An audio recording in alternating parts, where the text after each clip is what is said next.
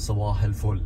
تعال ندردش سوا وأقول لك شوية نصايح قد تنفعك وقد ما تنفعكش مش عارف. نصايح عامة يعني مش إرشادات واجب اتباعها لكن نصايح بناء على تجربة شخصية حياتية يعني. لو أنت جاي الصين أو هتيجي الصين أو بتيجي الصين بالفعل سواء لسه شاب ولسه بتسافر جديد أو سواء آه، يعني حد آه، أكبر مني في السن أو أصغر سواء لغرض تجاري أو يعني ليك تعاملات مع الصين فممكن يفيدوك يعني هنا في حياتك وفي الخطوات المقبل عليها يعني بإذن الله. أول حاجة بخصوص موضوع الجواز لأن في ناس كتير جدا تسال على الجواز وبيجي رسائل كتير قوي. الناس مش عارف طب أنا عايز أسافر اتمم الجواز فهل ينفع السفر دلوقتي ولا لأ؟ منين آه، تسجيل الجواز وعشان أطلع إقامة عائلية وأقدر أسافر دلوقتي؟ لأن طبعا في وسط ظروف منع السفر.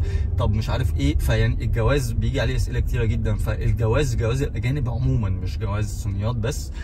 في وهم بتوع الفيديوهات الإنفلونسرز خالقينه للشباب إن هو الجواز سهل جدا وبدبلة ومش عارف إيه بقى ومحبس وبتاع الجواز ببلاش بره والكلام ده. آخر هو مجرد خاتمين وخلاص واتجوزت وبتروح تسجل الجواز في مكتب مدني. لكن أنت عارف إن الجواز ده عشان توصل للمرحلة دي في إيه؟ في مثلا خلال السنتين ثلاثة بتوع التعارف هل عارف هي يعني الحاجات اللي هو قدمها لها إيه؟ هل هي ليه هي أصلا اختارتك وفضلتك على ابن البلد؟ سيبك الموضوع بقى أصل المصريين مش عارف إيه وبتاع وإن هم عليهم العين والطرق. لا يعني كل الرجاله في الآخر واحد والموضوع مش زي ما أنت متخيل. يعني إحنا مش أملة يعني ولا برضو الست يعني كل واحد فيه وفيه يعني. فلا في حاجات كتير جدا هي بتختارك عليها. بناء على ذلك هي بتختار إنها تتجوزك. فما تخليش بس فلان الفلاني اللي سافر وعمل لك فيديو ست أو سبع دقايق وقال لك ده أنا اتجوزت خلاص وخاتم. لا هو بس بيحكي لك القصة يعني مشاهدات وتفاعل وكده لكن الحقيقة غير كده تماما. لازم تعرف أنت بتختار منين. واحد بعت لي رسالة بيقول لي أنا وواحده ج- اتقابلنا مش عارف من أقل من شهر وعايزاني أروح دلوقتي ونتمم الجواز وعايش. انت لازم تقلق لازم تعرف بس هي من انهي وسط اجتماعي هي كمان ليه متسرعة قوي للزواج للدرجه دي؟ منها ما تعرفوش أجنبي هي برضو عندها تطلعات وأجنبي آه هيتجوزني بقى وهيعيشني وهيسفرني وبتاع فهي قد تكون من منطقة نائية أو أرياف أو حاجة عمرها ما خرجت من تحت عباءة أهلها فعايزة بقى الزوج المخلص اللي هيجي يخلصها ويسفرها وبتاع. فلازم برضو تفهم هي منين انت تفهم هي وسطها الاجتماعي منين عشان كده الأجانب ما بيتجوزوش بسهولة ايا كانت جنسياتها إيه. لازم بيعرفوا بعض كويس جدا وممكن تلاقيهم متجوزين أصلا بعد ما عيالهم يكونوا خلاص داخلين الجامعة. لأن الجواز ده مسؤولية كبيرة جدا يعني. ولا قدر الله في ساعة لو حصل انفصال أو أي حاجة بيبقى فيها مشكلة كبيرة على الطرفين فملهاش علاقة. وخد مني إن أنا يعني أنا مش هنصحك نصايح إزاي إنجاح الحياة الزوجية مش تخصصي. وأنا نفسي يعني لا يجوز إن أنا انصحك نصيحة زي دي. إن أنا شخصيا تزوجت صينية وانفصلت ثم تزوجت تاني فعديت بكل المراحل فلازم تعرف هي منين ولازم تعرف هي بتناسب طموحاتك ولا لأ ونفس المستوى ولا لأ. وأنت متجوز مجرد جواز متعة عشان تاخد إقامة بس ولا متجوز آه، عشان فعلا تكون أسرة وتعيش وهي متجوزة كمان عشان بس إقامة عش- سوري عشان جواز متعة بس ولا عشان فعلا عايزة تعيش. هي ممكن بس تكون يومين وكده كده عارفة إن خلاص يعني ده أجنبي وبتاع فكده كده هنفضه بسرعة يعني وهفك كده لأن خصوصا الثقافة الصينية في الأساس ما بيرحبوش قوي بزواج الأجانب الأجيال القديمة اللي هم الأهالي يعني.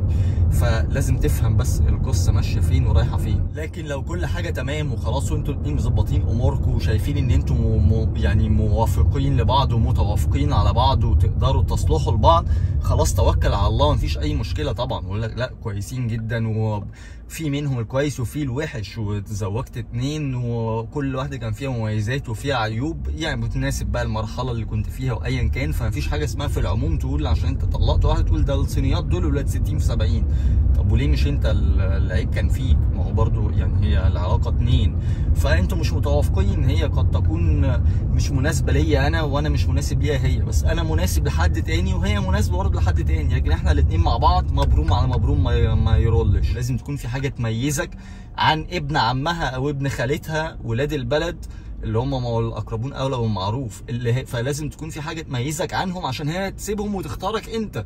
يا إما هي واقعة بقى بايرة محدش عايزها لكن فكرة آه خاتم ومش عارف إيه واتجوزنا لا هو محدش بيحكي لك على السنوات اللي قبليها فتريث في الزواج عشان ده برضو مسؤولية وقصة مش الموضوع مش سهل يعني زي ما انت فاكر. لكن لو كل حاجة تمام وانت دارس الخطوة كويس توكل على ربنا يتم بألف خير الستات كلهم واحد صدقني وأنا أول واحد أشجعك. أنا لا يجوز إن أنا أتجوز مصرية.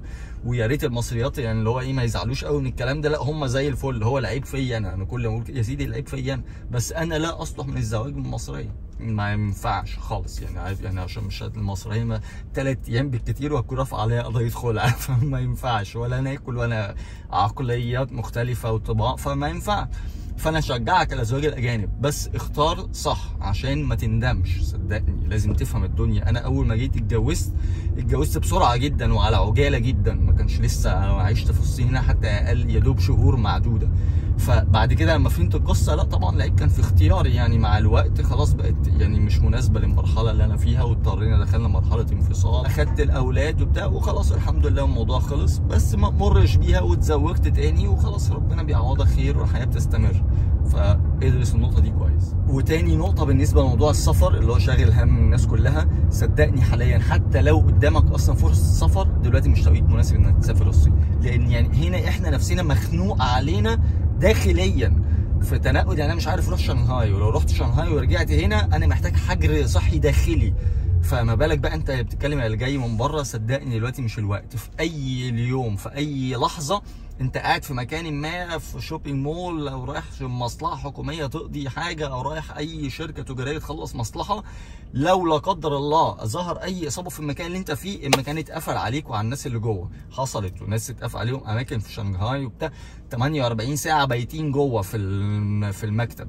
48 ساعة العمارة والحي السكني كله مقفول لغاية ما يتم فحص الجميع وبايتين جوه بقى. وكل واحد بشوف بقى كل واحد فيهم سايب بيته وأسرته وعياله. خلاص انت رهن الاعتقال المؤقت في المكان لغاية ما يتم فحص الجميع وياخدوا الأوكي إن خلاص المكان ممكن يعاد فتحه تاني. حجر صحي شهر صعبة جدا صدقني نفسيا. أنا بالنسبة لي ما عنديش مشكلة يعني. السفر إن أنا أسافر أروح وأرجع وكده ما عنديش مشكلة وما مش محتاج ولا فيزا ولا بتاع.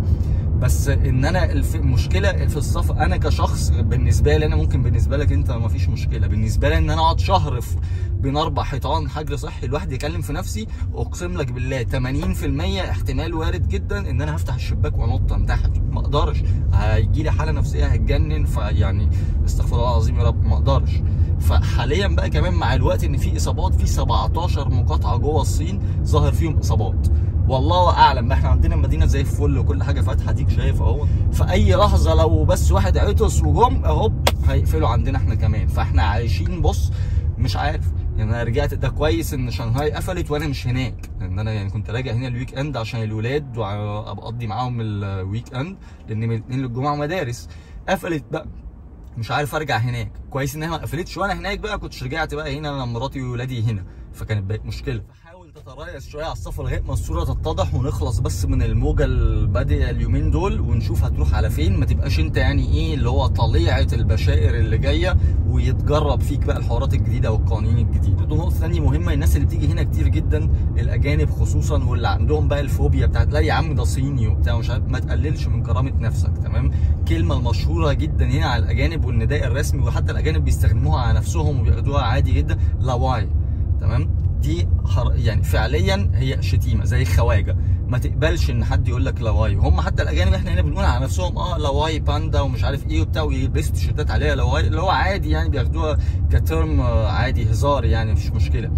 و90% هي بتبقى مقصودة عادي إن هو يعني أجنبي. حلو؟ بس 10% لا هي استخدامها الرئيسي ودي عليها بص أبحاث. يعني حتى لما كنت في المدرسة كنت بدرس English أول ما جيت خالص من 10 من 12 سنة يعني. آه كنت بص عامل له ممنوع حد يقول لي 老外. فيها 外 国 人 外 اللي هو يعني خارجي. جو دولة.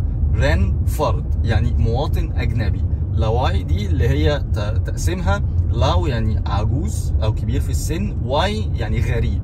حلو. فهي معناها من الآخر اللي هي خواجة يعني. فزي عندنا خواجه مش لفظ ظريف ممكن في وقت أوقات كتير جدا يكون حسن نية عادي أصدقائك أو كده خواجه لكن في أوقات كتير جدا بتبقى مقصود بيها يعني عارف اللي هو إيه؟ آه خواجه مش مش كويسة يعني فقال له لا أجنبي أنا بقول لحد ما تستخدمهاش معايا. وده مش كلام أنا بس ده كلام حتى الحكومة بتشجع ممنوع إن أنت في جهات العمل تنادي أجنبي بلواي ممنوع إن أنت تستخدمها في المقالات الرسمية في الجورنان وكده ده تحذيرات حكومية. فيعني اللي هي حاجات بسيطة لكن أنت ما تضمنش بقى اللي يستخدمها. دايما أقول sorry قول لي واي جوفان أنا مش يا 老外 فيها جزء alien بني آدم خارجي اللي هو فاهمني اللي هو إيه بني آدم فضائي يعني. لا أنا المواطن ليه ده؟ فأقول له وأنت بتتكلم مع لو قبل خلاص عادي مفيش مشكلة. لو حد صاحبك أنت عارف إن هو قبل حسن نية تمام.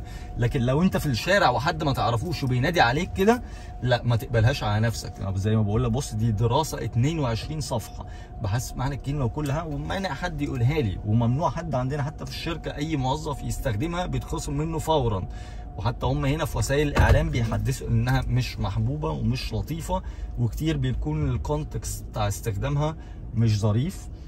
ويعني أنا وصلت أهو والدنيا عندنا شغالة عادي جدا. بص الكوفي شوبس أهي شغالة عادي جدا والحياة فاتحة والدنيا كلها المحلات فاتحة والحياة جميلة خالص عادي والناس في الشوارع وكل حاجة. لكن في أي لحظة إحنا معرضين الله أعلم. لكن عندنا المدينة الحمد لله زي الفل صفر إصابات. بس لو لا قدر الله ظهر فيها حاجة ما تضمنش إيه اللي هيحصل.